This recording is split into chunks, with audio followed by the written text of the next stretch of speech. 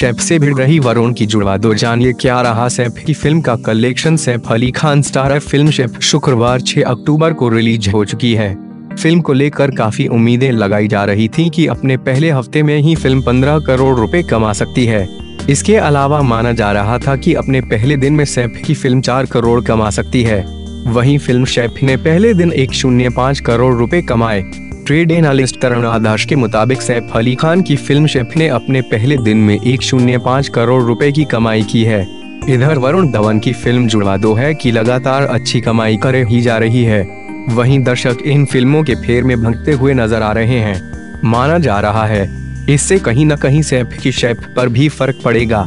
Indian express के मुताबिक trade analyst Girish जौहर ने कहा है कि जुड़वा दो सैफ अली खान की फ़िल्म शेफ को अच्छी टक्कर देगी। उन्होंने कहा, वरुण, धवन की फ़िल्म जुड़वा दो। अब तक काफ़ी अच्छा बिज़नेस कर चुकी है।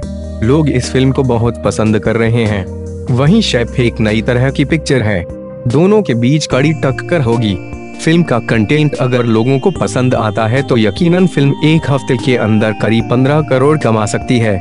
गिरीश ने कहा शेप को 1500 से 2000 स्क्रीन पर रिलीज़ किया गया है और उम्मीद यह की जा रही है कि फ़िल्म पहले ही दिन चार करोड़ रुपए से शुरुआत करेगी। बता दें। शेफ फ़िल्म में सैफ और स्वर काम्बले बाप बेटे की भूमिका में है। कहानी पिता पुत्र के संबंधों पर आधारित है, जिसमें इनके ही इर्द गिर्द कहानी बुनी गई है। पिता पेशे से शेफ हैं। शेफ बने सैफ का फ़िल्म में बेटा है, जो उनसे खतफा रहता है। कारण उसे लगता है कि उसके पिता उस पर न ध्यान देते हैं और न ही उससे प्यार करते हैं।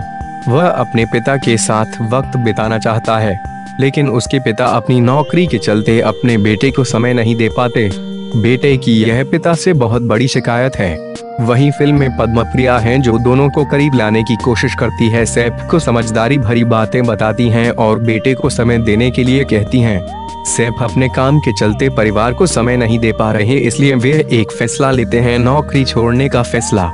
इसके बाद वह खुद का फ़ूड बिज़नेस शुरू करने की सोचते हैं। इसमें उनका बेचटा भी उनका साथ देता है। नौकरी, छोड़ परिवार के पास आने के बाद सैफ अपनी फैमिली की मदद से एक फ़ूड ट्रक में बिज़नेस खोलते हैं।